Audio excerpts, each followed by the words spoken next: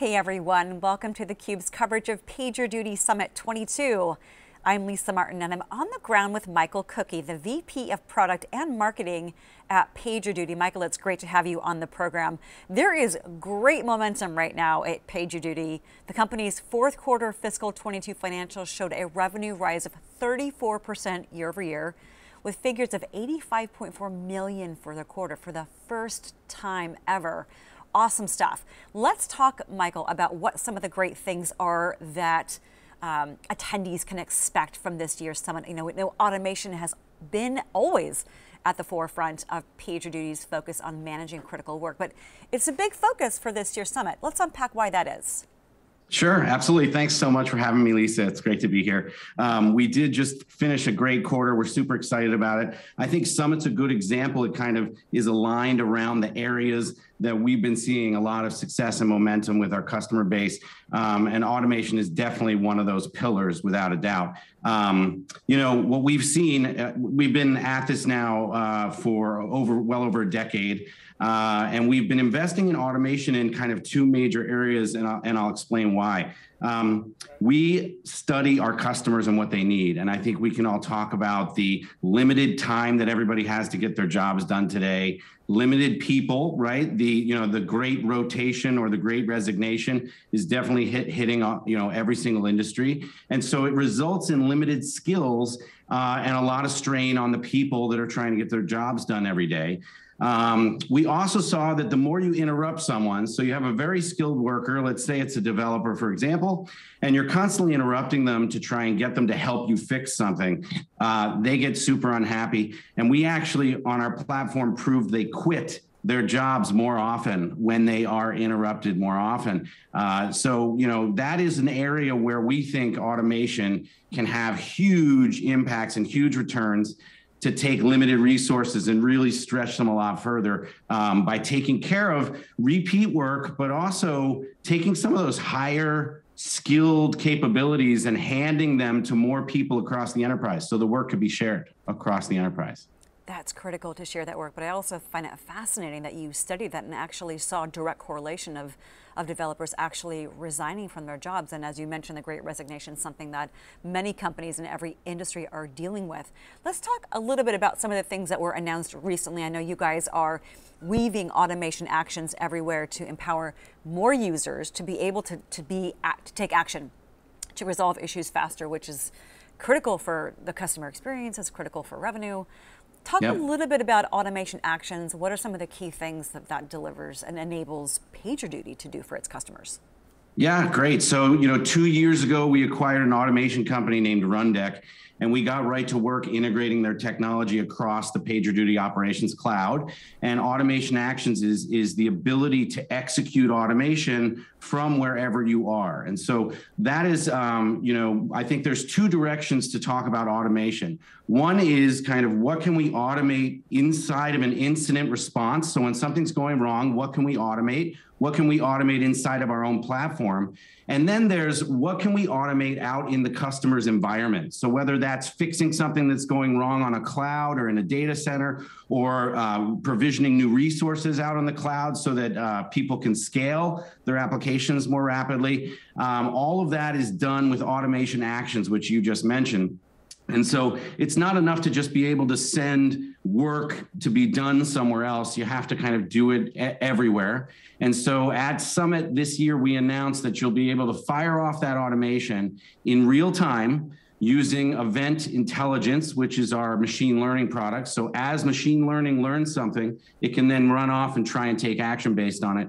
And then we're delivering it to all of our users. So inside of, you know, for a responder who's responding to a problem, for a customer service representative who might be working with a customer who's having a problem, giving them automation can totally change the customer experience because now the customer service person is actually empowered uh, to do diagnostics and try and solve problems. So, so that's right. Automation actions being delivered both in real time and to every different uh, type of user that that leverages PagerDuty today.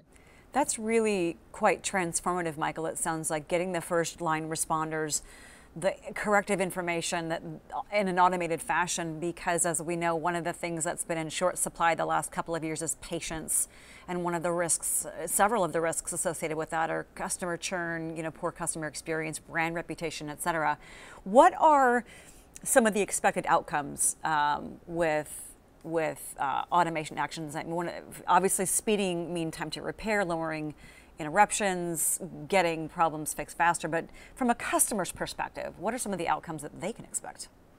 Awesome. Um, great question. The there's a lot of different ways you can leverage automation, right? You just mentioned a bunch of super high return ones. When something's broken and your company is actually losing customer experience or, or revenue, uh, or you're unable to deliver a service to your employees or your users, that is obviously a moment of massive return for automation. In those cases, like you said, you're going to see a reduction in the requirements to escalate, which means that the first responder can actually solve the problem themselves. Uh, and they're not going to have to go interrupt that more higher skilled employee like we talked about. Uh, we see that over 50% of the time we're actually reducing escalations by using this technology. That also means the problems are getting solved a lot faster, which you also mentioned. Um, so using automation actions to both diagnose what's going wrong, but then actually try and remediate it. Um, and as I mentioned earlier, we can do that before you even have to get a human being at all. We can do that with machine learning in real time, which is uh, super powerful. And then there's a long tail of other ways to leverage uh, automation in an environment from service provisioning and redundant tasks that are used that are done for maintenance across an environment or provisioning uh, provisioning services to developers so that they can get to work faster. So there's a lot to do there. Um, and, and then we're also exploring ways to, to automate uh, outside of just technical use cases, um, which we talked a little bit about at, in the product keynote as well. One of the things that, that you mentioned earlier is that the, the data that PagerDuty has that demonstrates um, from a resignation perspective what happens when developers are, are really taken away from their core job. Is there any data that shows that autom uh, automation actions, you mentioned um, a big reduction, 50% reduction in time to respond there. Is that is there a direct correlation in actually helping the folks on the front lines stay in the front lines? That's right. So, um, and and also those that are coding, coding, right? So, um, the that fifty percent reduction means fifty percent time given back for them to do their primary function, which in this case is building amazing new digital services, whether that's a new customer experience uh, or a piece of uh, a digital service to drive the business and business efficiency.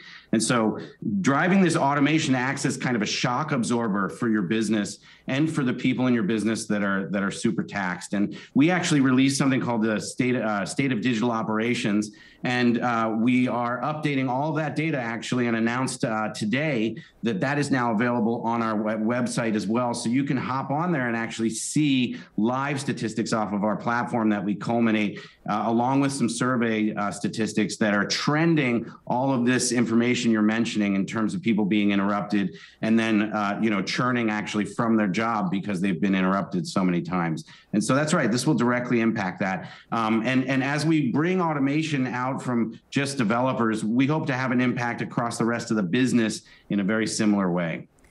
Absolutely transformative. I mean, you know, we when we think about churn and impacts to revenue, I always think the customer experience and the employee experience are inextricably linked. And, and I think what you're talking about really demonstrates that. You need to be able to empower the right employees to resolve incidents, to absorb that shock as you talked about. And that's really something that for any organization in any industry globally is no longer a nice to have. It's really something that I think sounds like a competitive differentiator that PagerDuty can help organizations really uncover and bring to the surface. Yeah, you're you're hitting on one of my favorite topics. I think in in the service of the customer, in service of like customer delight and customer obsession, all of the business is now centered on the customer, which which means that the back office is the front office. They're coming together, and um, and with the pandemic and kind of the transition that we all took into dependency on digital services, it's all starting to look very similar. And so, um, because of that, we're able to now expand our impact at PagerDuty across so much more of a business uh, out to uh, everything, including employee experience um, and also accelerating the time to productivity for your for your business so that you can serve your customer faster. Um, we we acquired a company recently uh, named Catalytic and uh, their help their technology helped us kind of accelerate a couple of pieces to market that are just the tip of the iceberg uh, for kind of being able to rapidly automate and configure workflows for anyone at the enterprise, whether that's for a customer uh, experience or whether it's uh, it's to keep your business productive or efficient uh, for business users. So unpack those incident workflows. You talked about the, the catalytic acquisition that was just from March. Talk to me about the incident workflows and what were customers asking for that really kind of generated this new capability that PagerDuty recently announced. So, you know, people lean on PagerDuty at, at, all types of times, but as we've already kind of talked about, the most critical time is when something is broken for the business that is vital to their business. And so when those moments happen, you know, we call those major incidents. And when you're responding to a major incident across a business, you really have to do everything you can because every second really matters. And so um, we, you know, Catalytic's technology enables flexible, automated workflows of behavior when certain conditions exist. And so the first thing you're seeing from that technology is called incident workflows which when something's going wrong enables you to kind of automate steps of processes very very quickly that can be carried out company wide so this could be something like when we see that uh, critical service is impacted, we want to automatically send out updates across the business. We want to automatically create a, an area to go troubleshoot on a on a collaborative, you know, collab ops platform. We want to automatically invite the right people into that room and automatically deliver diagnostics to them and automation to them so they can troubleshoot faster. Instead of a human having to take those steps in terms of firefighting and trying to res- trying to pull those coordination steps together, now we can configure that quickly and have it, you know, happen automatically. And it, and it can actually happen without a human having to trigger it. So again, this is about something's broken. We're responding. We need to be as fast as possible. You can't rely on a human anymore. You really need, you know, the, the earlier automation we talked about was automating off our platform. Incident workflows is automating on the operations cloud. So taking steps to solve the problem when it goes wrong without needing a human being to take those steps. When you're in customer conversations, Michael, and you, you talk about these capabilities, what are some of the things that, that you talk to the customers about, about why automation is going to be, I wouldn't even say critical for, I mean, business critical, table stakes for organizations. It's no longer okay to just default to depend on humans. You know, the, the customers on the other end don't want to, you know, a couple seconds delay is hugely impactful. Yeah, we, we call that the abandonment threshold, but that's absolutely right. So we've already talked a lot about why you have why the why our businesses and our employees depend on digital. I think we've covered that. What's important to understand is what is digital. So contemporary applications and digital services, there, there are tens and hundreds of microservices that are powering these things. And then there's thousands of different dependencies between those services. Um, and so supporting these and understanding these is difficult. So, so being able to interpret are they operating correct correctly? And if not what do we do about it? It's actually a problem that humans can't calculate. Um, then you throw into change right? So everybody's now competing with the digital service. So they want to innovate as fast as possible get new capabilities out keep that customer excited and happy with your offering. And so we need to push change on that complex environment very often. It's a pretty hairy mess to try and solve and to do that in real time. So we, we use two arms of an area that, that we call AI ops.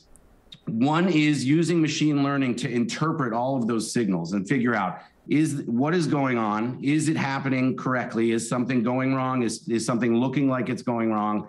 and also to determine how to fix it if it is going wrong. Do we need a person to do this or not? And then that other side is is what we've talked about today, which is you can't bring a human in to do all the work. So you have to know how to solve the problem. So the combination of is is what we call AI ops. It's it's event intelligence, which is machine learning to understand the situation, and then it's automation to actually go out and react to it and solve the problem. That's that's this branch of our of our platform. Got it. You guys have PagerDuty has 19,000 customers, including 60% of the Fortune 100. Is there A customer example that, that jumps to mind to you that really articulates the value of AI ops, for example, and what it is that PagerDuty is uh, able to allow its customers to do. Sure. Um, and and now a million users on this platform, which is just phenomenal. And so that that actually helps us design better machine learning because we have so many people using this platform. Um, you know, there's there's a great example that was just shown on in our kickoff. So if you haven't seen the product uh, keynote, you really have to see it. We run what are called uh, day in the life demos. And in this case, this kind of hit close to home for us because a lot of us have been sitting in delays in airports around the globe as we get back to our travel uh, and and get back to seeing people face to face. But but what we showed there is is a very very uh, close to real world example where um, you know a, a ticketing uh, service goes down for a travel agency, and it impacts everything from directly their end users' customer satisfaction, but also partner engagements and employee behaviors and whether they can get the right people booked to staff that flight, et cetera it really throws logistical chaos on the entire business. And it's all based on digital systems. And in that, you can see our, our platform helps them react and manage customers at the customer service layer. It gets the developers and the infrastructure and IT teams reacting to solve the problem instantly. They use automation to solve the problem. And they actually learn some new things in that situation and they bring that back to flexible workflows so it's a, it's basically what I call a virtuous loop. As they solve a problem and they realize they could do it faster, better, quicker, or automate more of it, you're now able to bake that back into the platform so that you're basically getting better and better and better every single time you are called to solve a problem. And so over time, we like to bring our customers up we, what we call the operational maturity model. And uh, it, in, in, in, at the end of that journey, you should really be focused on critical work for you and for your business. And the rest of it should really be handled by our platform. An operational flywheel that is constantly learning is impactful, as you described in that example, across an entire enterprise. So many different facets there. Last question, Michael, as we're running out of time here you, as I mentioned in the very beginning, PagerDuty is coming off amazing momentum from FY22. What are some of the things that you're seeing uh, for the year ahead that, that you're excited about or that we can expect? Uh, great question. Um, so you just saw us release automation in every area for every user um, I think what you're going to see us do across automation is bring faster and more powerful value out of the box with our automation capability. Some of that will be, for example, finding homogeneous, what we call runbooks or automation calls that you can make shared across all platforms. One of our recent announcements was the ability to host process automation either in the PagerDuty Operations Cloud or behind your own firewall.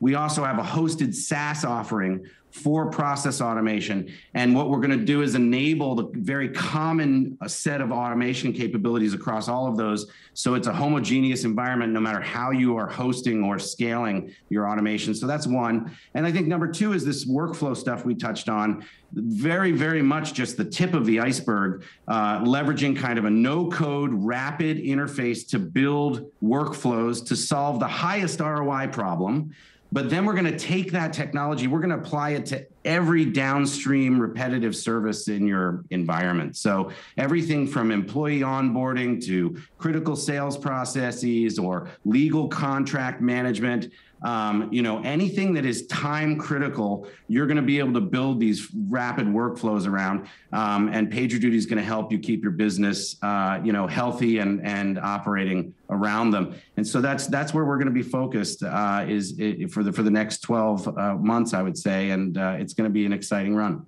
It is going to be an exciting run. I better let you get back to work as VP of Product and Marketing. You got a lot to do, Michael. That's right. Well, I'll get back to it. I appreciate the time, though. Thanks for so much for the chat, Lisa. Thank you so much. For Michael Cucchi, I'm Lisa Martin. You're watching theCUBE's on-the-ground coverage of PagerDuty Summit 22.